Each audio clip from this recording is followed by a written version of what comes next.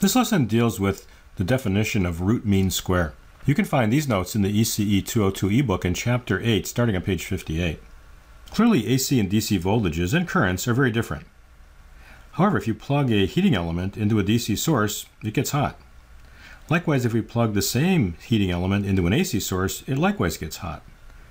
We could consider average power as a way to equate these two quantities. Suppose we take a DC source and connect it across our resistance of our last video.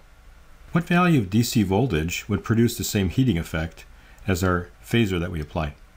Let's calculate the power dissipated. It's, it's going to be V squared over R, so the battery squared over R. We could graph that versus time, so it just be a constant. We could label something as a period and twice the period, but it's just basically the same value. Let's take our definition of average power, which is 1 over the period, integral from 0 to the period of our function dt. That would be v battery squared over r dt. Pull out the constant in front because this is not a function of time. I get the integral of 1 dt evaluated from the upper limit minus the lower limit. That would be t minus 0 times the battery squared divided by r and then divided by t.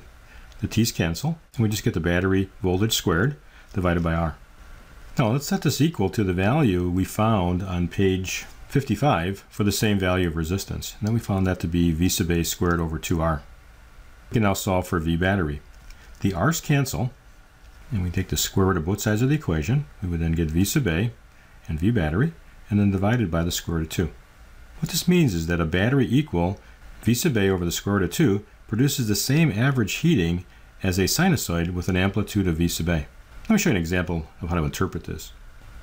How many car batteries would it take to make a pot of coffee in the same time as it would be to plug the coffee pot into the wall outlet. Okay, the wall outlet's approximately 169.7 times the cosine of 2 pi times 60 times t. Battery voltage then would be equal to the 169.7 divided by the square root of 2.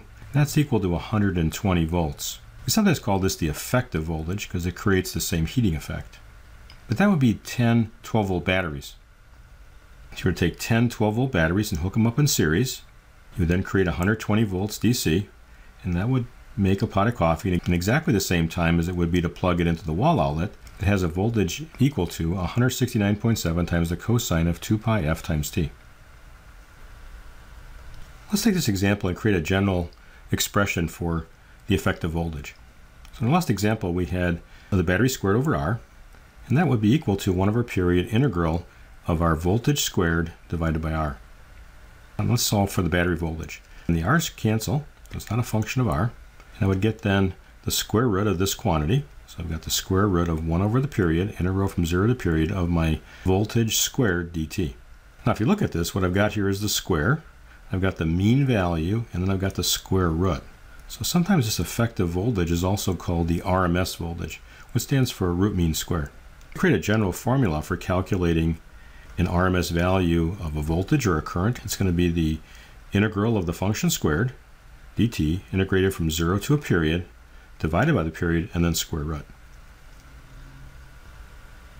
You may have seen on the back of stereos or even labeling on wall outlets that voltages in a house are somewhere between 110 volts and 120 volts RMS.